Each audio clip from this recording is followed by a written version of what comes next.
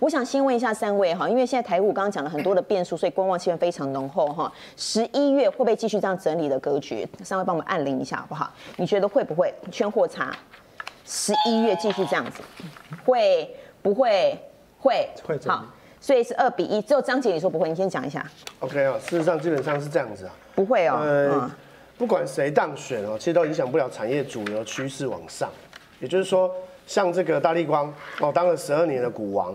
事实上，手机双镜头、单镜头前三后四，或者是前三后五，这个主流趋势是没有改变的。所以，不管是拜登或者是川普当选，只要不要选举有争议，我认为资金的盛宴，还有产业趋势、新科技的变革都不会影响。嗯，哦，所以就刚刚举的，就像台积电，哦，台积电其实不管哪一位谁当总统，换了几个行政院长，基本上。都不会影响它的关键的技术跟它的这个地位，所以我认为，十一选完之后，明朗之后，资金盛宴跟这个。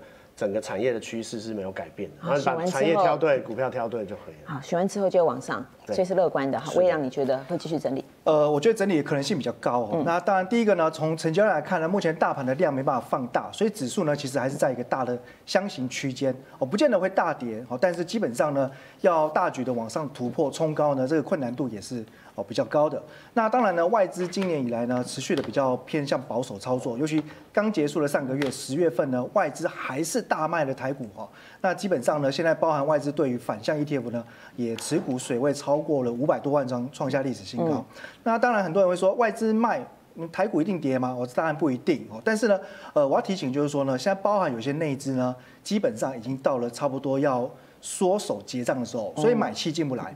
那首先我们看到就是像啊寿险大户哦，那像这个国泰富邦，过去两个月大概卖了台股一千多亿了哦。那第二个来讲，其实今年在发生新冠肺炎之后，那三月到大概九月、十月这一段 V 转的走势，真的让很多高手赢家啊，投资大户其实呢获利满满哦。就像今天来宾一样，可能呢获利倍数的 数倍的，大概今年在市场上你都可以听得到。嗯，那包含就是说，在今年其实也看到哈，呃，就我所听到很多所谓的证券自营商的这些投资圈的朋友，大家大概呃也都已经提早达阵公司的获利目标了，所以剩下大概两个月的时间，普遍的心态会先以呢守住战果，而不是说再往前冲。那所以其实这个有点像是，如果你去吃这个自助餐把费，对，两个小时。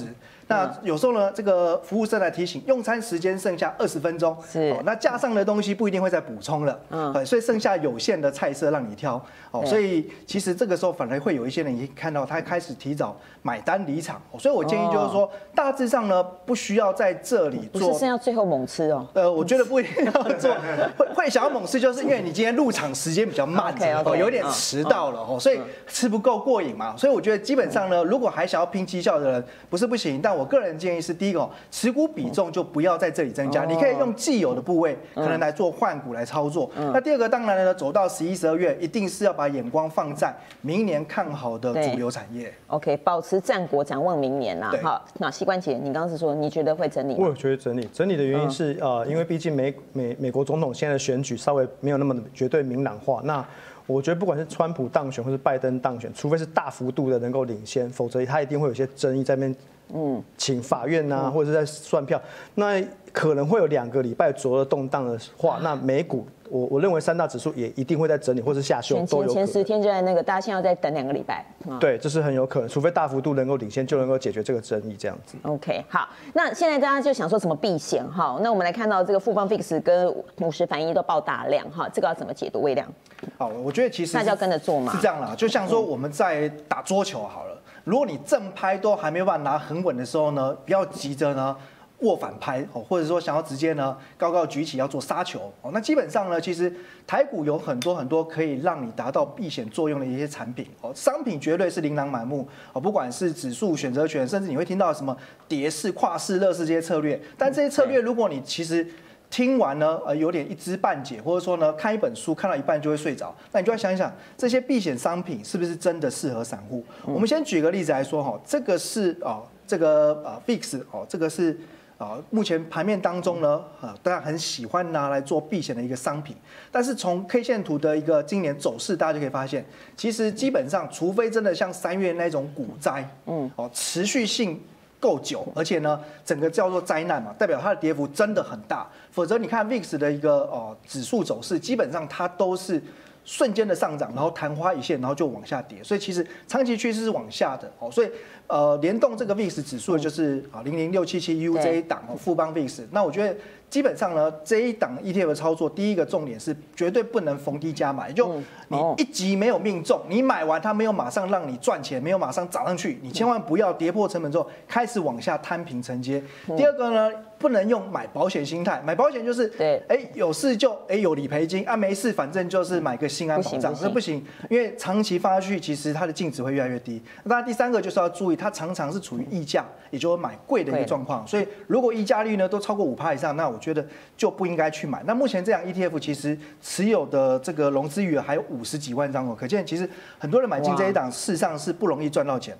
那另外呢，还有就是元大台湾五十反向 ETF，那同样的这一档 ETF 也有五十几万人持有。那大家或许会看到说。哎，可是外资就有在买啊，但问题是为什么法人啊或外资他们会去买这些避险商品？是因为他们本来持股部位就非常非常多，所以他不太可能因为哦十一月三号选举，那我就在这几天我赶快卖股票，因为第一个他也来不及卖嘛，那第二个他卖下去就等于搬石头砸自己脚哦，所谓的卡巴 k 他走不掉，所以基本上法人他有必要性去做一些避险商品，对，同时因为他们有专业的团队，所以能够轻松上手。可是，一般投资人其实好像看到人家买，所以你也想买，其实有时候。买进避险商品反而是增加自己风险的开始，所以我觉得对于散户来说，最简单的避险其实就是把持股水位降低，这是最简单的。散户一不小心越避越险哈。好，张姐你觉得呢？呃，事实上我完全认同魏良老师说的哈，他说你这个。左左手拍都还拿不好，就拿反手拍了。所以很简单，大概五千万当一个部位，五千万以下的啊就不用避险。五千万以下都不用避险。对啦，人家说轻松多了。你卖股票，就像这个魏老师，他出清他持股要两个小时，啊，我跟庆宇可能两秒。哇，那那现在可以零股交易嘛，对不对？啊，你两秒，你一有风险不用避了。对，跌破季线就马上出清就好了，需要避什么险？那当然哦，法人给大家四个方式啊，所以第一个很简单啊，假设你五千万。五千万，你你你大概最简单的方式很简单，做多好的股票，好的产业，嗯，好，那你可以空台子期抓三成，比如说五千万你抓一千五百万，那你连这个，例如说你要买 put 买选择权，杠杆是几倍？买个股期货杠杆是七倍，买台子期啊，例如说一口台子期是两百块钱，嗯，杠杆是三倍，那你五千万的三成是一千五百万，再除以三，大概就是要做五百万的所谓的台子期的这个买空嘛，所以这个第一个部分你要会知道倍数。第二部分，你觉得大盘有风险，你 buy call 跟 buy put，也就是说，你买一个大涨或大跌的风险，只要大涨或大跌超过你的这个 range，都可能赚钱。那在大涨大跌之后，你可以进入到 say call 跟 say put，也就是说你双 say。好，你们看在，例如说我我看一个六千点啊，我只是比较极端的例子。好，例如说这个呃八千点或者是一万五千点。这个区间你去在有波动的时候，你双升收权利金当租金的概念，嗯，好，所以基本上已经有四个可以给大家做，当然还有做 CBS 加龙券，这比较比较进阶啦，哈，比较进阶。对啦，因为你刚讲五千万，现在大家都在放空了哈，这一段可以跳过去。对啊，大概是这样子。